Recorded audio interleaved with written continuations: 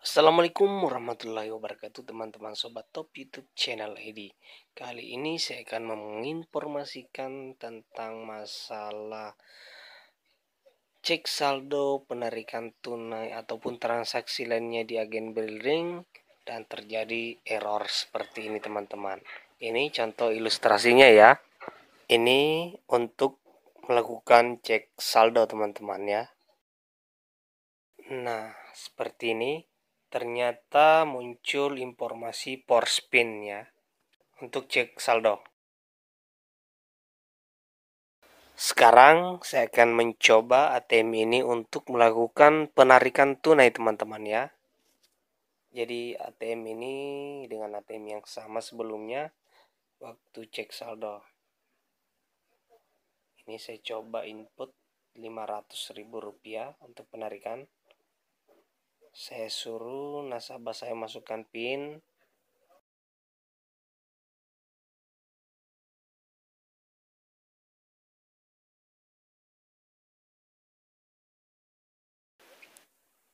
Nah, ternyata teman-teman tetap juga informasinya power spin. Jadi solusinya seperti ini teman-teman.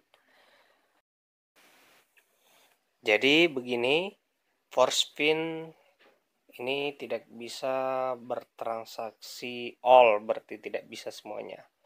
Pin yang digunakan adalah pin baru harus. Jadi kita ini diberikan informasi bahwa kita harus mengganti pin ATM Anda di mesin ATM ya.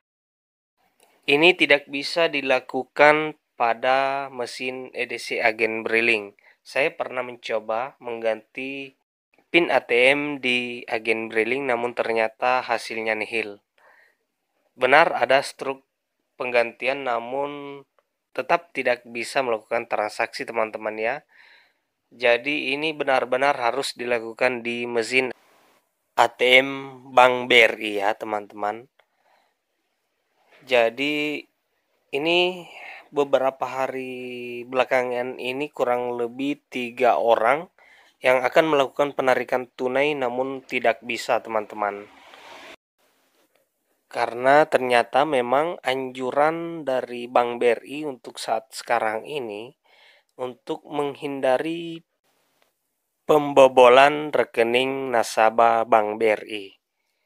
Jadi, teman-teman sewajibnya dan sewajarnya harus mengganti pinnya tersebut.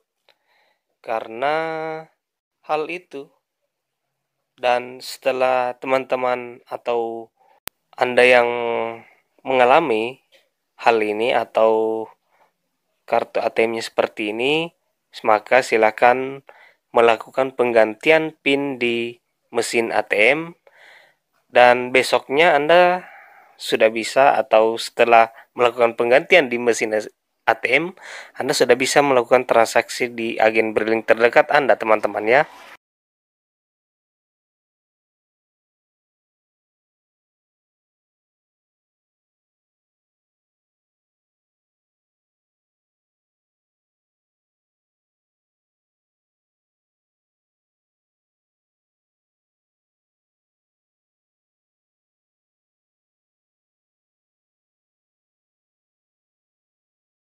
Ini dia bukti struk penggantian PIN ATM di mesin EDC agen Brilling teman-teman.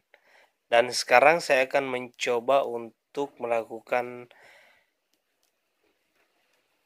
cek saldo teman-teman ya. Ini pada ATM yang sudah saya ganti PIN ATM-nya. Informasinya seperti ini. Silakan nonton videonya sampai akhir. Nah, ternyata tetap seperti ini teman-teman ya, force pin. Jadi benar-benar harus dilakukan di mesin ATM Bank BRI terdekat Anda.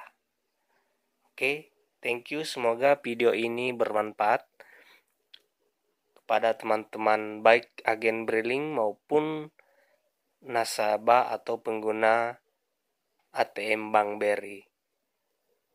Dukung channel ini dengan subscribe dan like video ini. Silakan bagikan kepada teman-teman yang lainnya dan semoga sehat selalu. Wassalamualaikum warahmatullahi wabarakatuh.